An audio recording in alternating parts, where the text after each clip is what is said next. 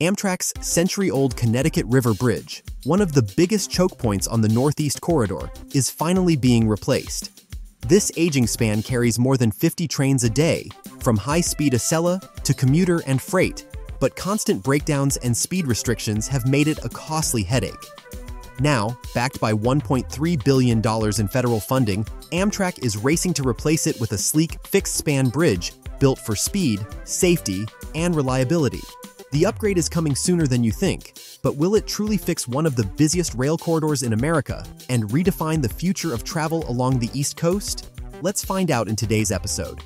All right, before we dive deeper, let's step back a bit and talk about the history and background of this old bridge. Old Connecticut River Bridge. The Connecticut River Bridge is one of those unsung pieces of infrastructure you probably never think about until it fails. Sitting between Old Saybrook and Old Lyme, Connecticut, this bridge is smack in the middle of Amtrak's Northeast Corridor. If you've ever taken the train between Boston and New York, chances are you've crossed it without giving it a second thought. But here's the kicker. That bridge was built back in 1907. Yep, more than 115 years ago. That's like driving a Model T on today's highways. It's technically possible, but far from ideal. Back in its day, the bridge was actually considered a pretty clever piece of engineering. It was built as a movable hoist bridge, meaning it could be raised to let ships pass underneath. At that time, it was cutting edge, but technology doesn't exactly hold up now. The bridge sits only about 18 feet above the river when it's closed, which means it has to open constantly for boat traffic. And here's where the headaches start. Every time it opens or closes, there's a chance something goes wrong. And when it does, it's not just a minor hiccup, it's a full-on disruption. Trains stack up on both sides, boats sit idle waiting for clearance, and delays ripple down the entire Northeast Corridor. So with all those issues the bridge has been having, it's clear that patching it up just won't cut it anymore. That's why they came up with a brand new design. Before we continue, we'd love your support. This is our new railway channel, and we're aiming for 3,000 subscribers. If you're passionate about rail infrastructure and transit news, make sure to hit subscribe and join the journey. Your support means the world. Thank you. Connecticut River Bridge Replacement Project. Instead of patching up an aging bridge, Amtrak is going all in on a completely new structure. The replacement bridge will be a fixed-span bridge. It will be built about 50 feet above the river, allowing boats to move freely underneath without trains having to stop. And this won't be a simple swap. The new bridge will have two modern railroad tracks, modern signaling, overhead wires, power, communications, and all the rail infrastructure you'd expect on a modern, high-capacity corridor. It's designed for trains to travel at speeds of up to 70 miles per hour, a huge jump from the current limit of 45 miles per hour. Of course, building something like this isn't cheap. The total cost of replacing the Connecticut River Bridge is about $1.3 billion. A large portion of that is being paid for with federal funds, thanks to an infrastructure bill passed in Washington that has pumped money into similar projects across the country. The Federal Railroad Administration alone has given Amtrak $826 million in grants to spur massive construction. What's more, Amtrak itself is investing its own money, and the state of Connecticut has also pitched in, recognizing the importance of the bridge to both local residents and the national rail network. And none of this happened overnight. Planning for the replacement has been underway for years. Back in 2020, Amtrak received a $65 million federal grant to cover just the initial design, environmental studies, and preparatory work. That investment is essentially starter fuel to ensure all the paperwork, permits, and engineering are in place when the big bucks finally roll in. Now that the plans are set, let's see how far along they are with actually building the new bridge. Current situation so, as of mid 2025, the Connecticut River Bridge Replacement Project is in full swing. Phase 1 starts in late summer 2024 and will run until around 2028. Crews have set up temporary approach bridges and trestles, and they're fabricating huge 150-foot steel girders for the new spans. They've drilled 6 and 8-foot shafts into the rock, poured 400-foot retaining walls, and built cofferdams to support the structure. To handle the heavy lifting, two massive Manitowoc crawler cranes, each with a 275-ton capacity and a 160-foot boom, are working off barges in the river. Temporary power and communication systems are also in place to keep things moving. On top of that, they're doing their part for the environment, building new fishing piers at nearby state parks. Even with all this action, the team is working super hard to keep trains running without delays along the Northeast Corridor. They're scheduling work carefully so boats can still pass under the bridge without a hitch. The goal? A brand new electrified two-track movable bridge ready between 2028 and 2031, modern, reliable, and built to last. But of course, it's not all smooth sailing. There are some real challenges they're facing along the way. Challenges. Among the most significant are meeting stringent environmental requirements, including the removal of 200 acres of invasive reeds to restore wetlands, protected vegetation in the work area, and compliance with seasonal restrictions on underwater work to protect aquatic ecosystems. The shortage of marine construction barges along the East Coast, combined with recent hurricanes and other emergencies, also presents logistical challenges in scheduling and resource mobilization. Maintaining uninterrupted rail service along this busy corridor requires careful management of monorail failures throughout the construction process to minimize disruptions to passenger and freight operations. Additionally, coordinating construction near an active waterway requires careful planning to ensure safety and maintain navigation. Finally, the aging condition of the existing bridge requires ongoing maintenance to avoid delays while the replacement is underway, adding to the operational complexity of the project. Even with those hurdles, the payoff will be huge. Here's why this new bridge will make a big difference in the long run. Benefits in the future. First, reliability will be greatly improved. The current movable bridge is prone to problems opening and closing its doors, but the new fixed-span bridge will eliminate that problem, ensuring thousands of commuters and travelers get to work, school, and appointments on time, improving the quality of life for the entire region. Speed is another major benefit, as trains will be able to travel faster than they do now, meaning time savings for tens of thousands of passengers each day. This will shorten travel times on one of the busiest rail corridors in the country, making rail a more attractive option for both commuters and long-distance travelers. Safety will also be improved, both on land and on water. The new bridge's increased ground clearance will improve navigation by allowing ships to pass without leaning against the bridge reducing the risk of collisions or accidents. For Amtrak and the rail operators, the project will cut down on routine maintenance and emergency repairs, saving millions of dollars in long-term maintenance. Beyond the technical improvements, the new bridge will also provide broader economic and social benefits. It will connect Boston, New York, and the surrounding areas, and promote greater regional trade. Environmentally, Smoother operations will reduce idling and wasted fuel and reduce emissions along the entire corridor. In short, the replacement project will transform an aging bottleneck into a high-performance, future-ready infrastructure that will benefit passengers, freight, boaters, and the entire Northeast Corridor. For over a century, one aging bridge in New Jersey has been the single biggest headache for Amtrak and NJ Transit riders breaking down, jamming open, and causing hundreds of delays on the busiest rail line in America.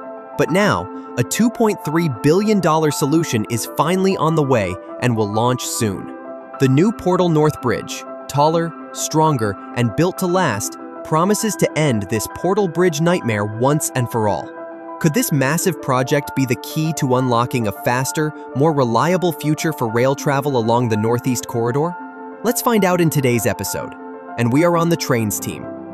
Why the Portal Bridge matters. To understand the importance of this project, we first need to step back and look at the old bridge itself. The Portal Bridge was built in 1910 over the Hackensack River in Kearny, New Jersey.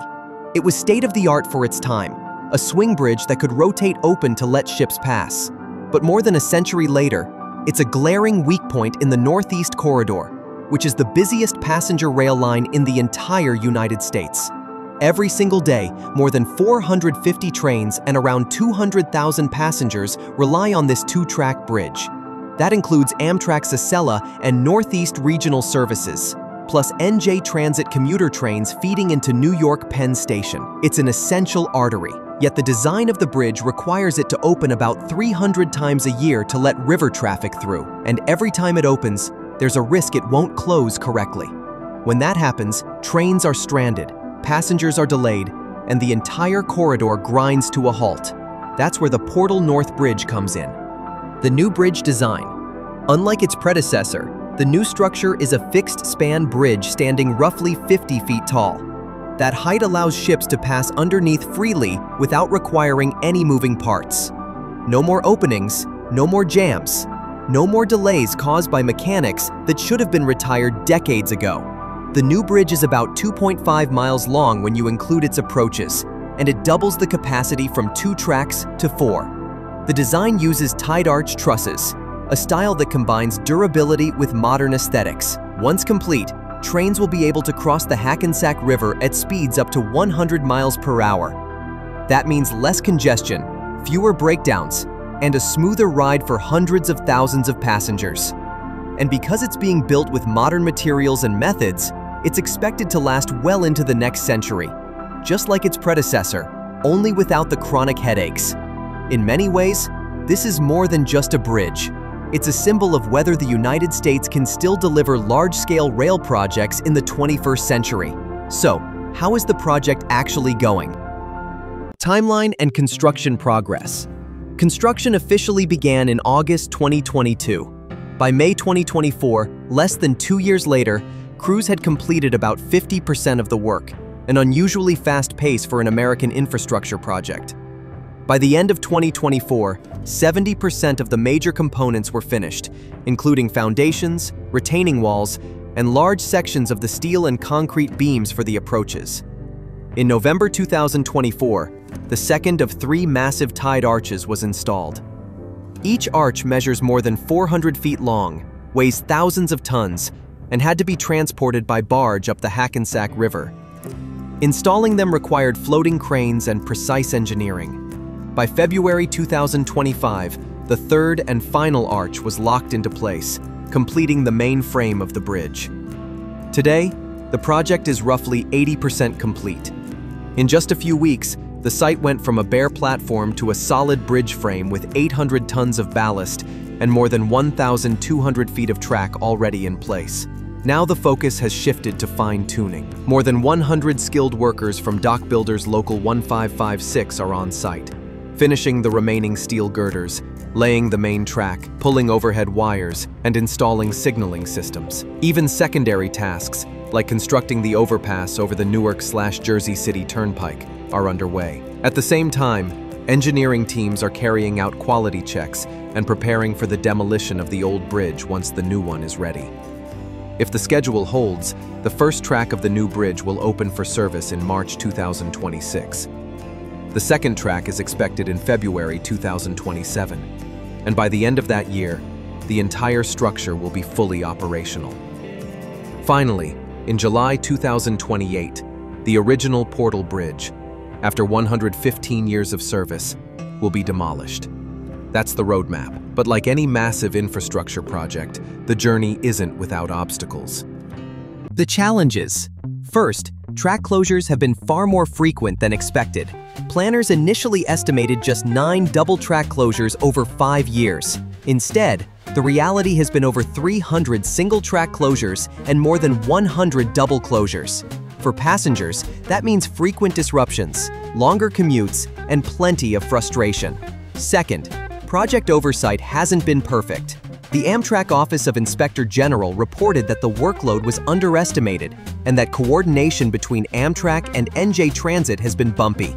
At times, financial data was delayed by up to nine months, making it nearly impossible to monitor budgets and track spending in real time. And of course, there's the old bridge itself. In 2018 alone, it had to open and close 15 times, each one creating new risks for breakdowns and delays. This is why the fixed design of the new Portal North Bridge is so important. It permanently removes that source of disruption. But the challenges don't end there. The bridge crosses through the Hackensack Meadowlands, a sensitive wetland ecosystem. Construction requires permits and environmental oversight from the Army Corps of Engineers, the U.S. Coast Guard, and the New Jersey Department of Environmental Protection. That means endless paperwork and reviews, each one adding time and cost. Then, there are the ever-present risks of cost overruns and supply chain delays.